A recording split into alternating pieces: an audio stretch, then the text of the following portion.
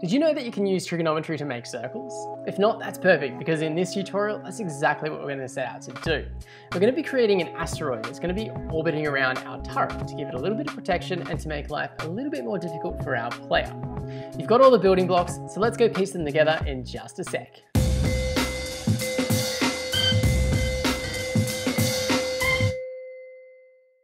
Hey, what's up crew? It's the Surfing Scratcher here, teacher surfer programmer, and I help curious people just like you along on their learning journeys through video tutorials. In this tutorial, we're gonna get an asteroid orbiting around our turret here to give it a little bit of protection, but also so our rocket ship can have a little bit of protection. We're going to be using the sine and cos trig functions and investigating the unit circle. So let's get stuck into it. As always, check out the description for a starter project so you can follow along with this tutorial. First thing we're going to do is create our asteroid. Let's paint a new sprite. Going to zoom in a little bit and I'm going to get the brush tool. I'm going to change the fill color. I'm going to make it this dark gray. Then I'm just going to reduce the size to about five. And then really, I'm just going to draw a wonky sort of circular shape that kind of looks like a rock. Select the paint bucket, and we just want to lower that gray color a little bit. Then we're gonna fill it. Grab that brush tool again, and you might want to increase the size. Let's make it slightly more dark. And then you're just gonna like draw some little squiggles. Kind of like this. So you're getting this rock shape over here on the screen. It's looking a little bit big at the moment, so we can just select it all and reduce its size. Make sure it's in the center. Should snap and lock. And that's looking pretty good. Make sure it's this grey colour and not brown so it's not some floating poop in space. With our asteroid drawn, let's jump over to the code tab. And let's rename our sprite to asteroid. If we just check out the stage, we want our asteroid to be orbiting our turret, like something like this. So it's going to be taking a circular shape. So we're just going to jump over to GeoGebra to check out the unit circle and build our understanding. Okay, on the screen right now, I've got the unit circle. The unit circle just has a radius of one, and that just means from the center point to the edge, that is a length of one Of course, going across is our x-axis and going up and down is our y-axis, just like you'd expect in Scratch. Here is our right angled triangle. You can see that we can control our right angled triangle by dragging this slider and it increases the angle and decreases the angle. You can check out here that we've got this red line and we've got this blue line. This red line is always going across, so it's on our x-axis, and our blue line here is on our y-axis, going up and down. I want you to focus on the red line for a second. I'm going to make the angle 0 degrees. What is the length of this red line? Well, it's equal to 1. It's just the radius, isn't it? It's going across. What happens to this red line as I increase the angle? What do you notice? What's happening to the red line? Hopefully you've picked out that the values are decreasing. Its length is decreasing in size. Okay, let's roll it back to the start. We're going to focus on the blue line now. What is the length of the blue line going up and down? Well, it's currently nothing. There's no height to it. There's no y value. But as we increase the angle, what happens to it? It starts to get bigger, doesn't it? It's increasing in size all the way up to when it's 90 degrees and it's a length of 1. Okay, I'm just going to reset this back to 0. So the point that our asteroid is going to be, it's always going to be on the edge here, the, the point at which our right angle triangle intersects with the circle. And that's just our x value and our y value. And the way that we're going to get that is we can pass in an angle to our cos theta to get the x value, that'll be this x length. We can pass in the angle to the sine function and we will get the height. So what we need to do in Scratch is basically create this angled variable and it's going to go all the way to 360 degrees. We're just going to increment it and reset it back to zero. And that's how we're going to get our asteroid to orbit around the turret. Let's go code it up. Here in the asteroid sprite, I've just dragged out a when the green flag is clicked. I'm going to make a variable. I'm going to call it asteroid angle. And when the green flag is clicked, we want to set asteroid angle to zero. Then we're going to grab a forever loop, and forever, we're going to change the asteroid angle by one. If the asteroid angle is equal to 360, then we want to set the asteroid angle back to zero. Then I'm just going to grab that if block and put it just above the change block. I'm just going to click the green flag here and we're going to see the asteroid angle values increase. And when it gets up to 360, it will reset back to zero. And there we go, it just reset. So what the asteroid angle is doing is it's just creating that angle that we saw in GeoGebra. We can use this angle and pass it into the sine and cos functions to get the coordinate of the circle. The next block that we're going to need is in the motion category, and we're going to get the go to x and go to y. Okay, I've just got our unit circle back here on the screen, so this green angle refers to our asteroid angle. Remember, we said that when we pass in that angle to the cos function, we're going to get the x value.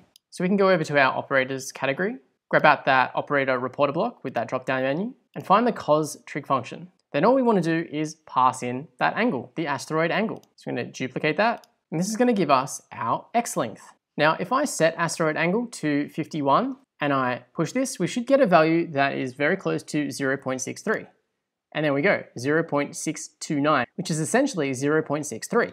Then we can just duplicate this block and change it to the sine, because the sine is going to be our y value. Then let's pass in our sine to the y and our cos to the x. Because x isn't cozy, it's crossing, remember? We can put that block just above that if statement. And then when we push the green flag, oh, but nothing happens. Why is that?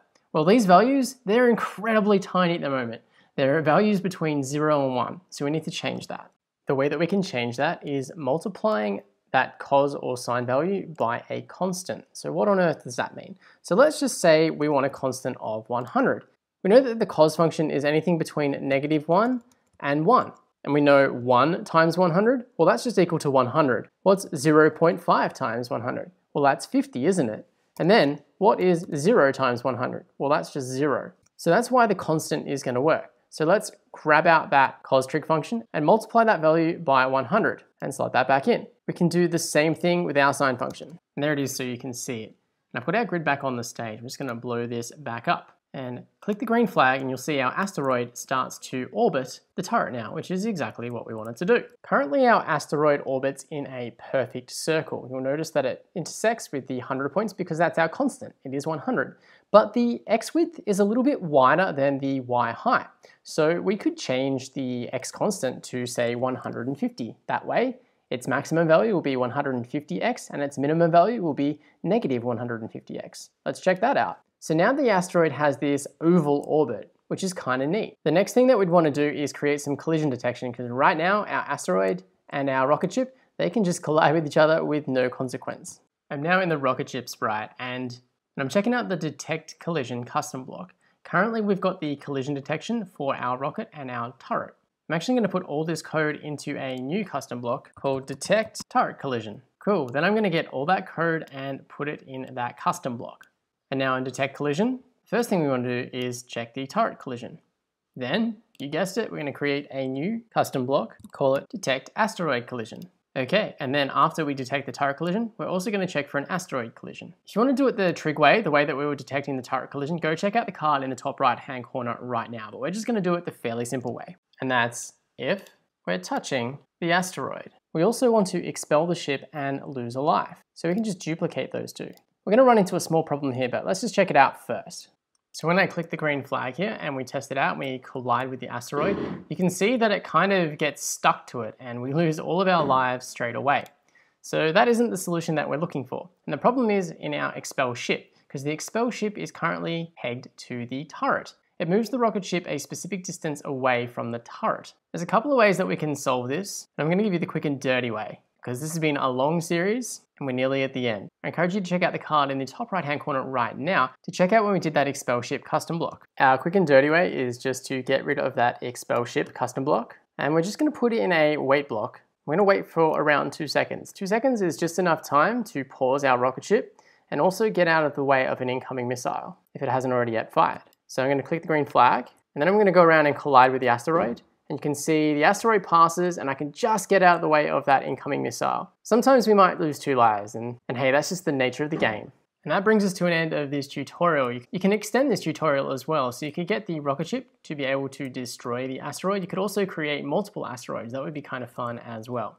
In the next tutorial, we're gonna put the finishing touches on our game. We're nearly at the end and all of our trig is essentially done. So congratulations on making it this far, you're nearly at the end of the road. Well done. Hey, thanks for checking out this tutorial that shows you how to make a circle of scratch using trigonometry. If you made it this far, I just want to first congratulate you on your journey with learning trigonometry. It's an epic feat. This series has been a marathon. It hasn't been easy. I hope you learned something about yourself and how you respond to challenge. If you created some bugs, you found it difficult, and you wanted to give up along the way, what I say to that is awesome. Because what matters, it's not the mistakes that you make, but rather it's how you choose to respond to those challenges when they come your way. Do you ask yourself questions that help you solve the problem? Or are you someone who tells yourself those negative stories that make you feel a little bit silly? The secret is, if you start asking yourself those quality questions, then you're going to start an exponential growth curve. We've just got one video left in our series to tie up some loose ends. But until then, I'm off to go find a wave. I'll catch you in the next one.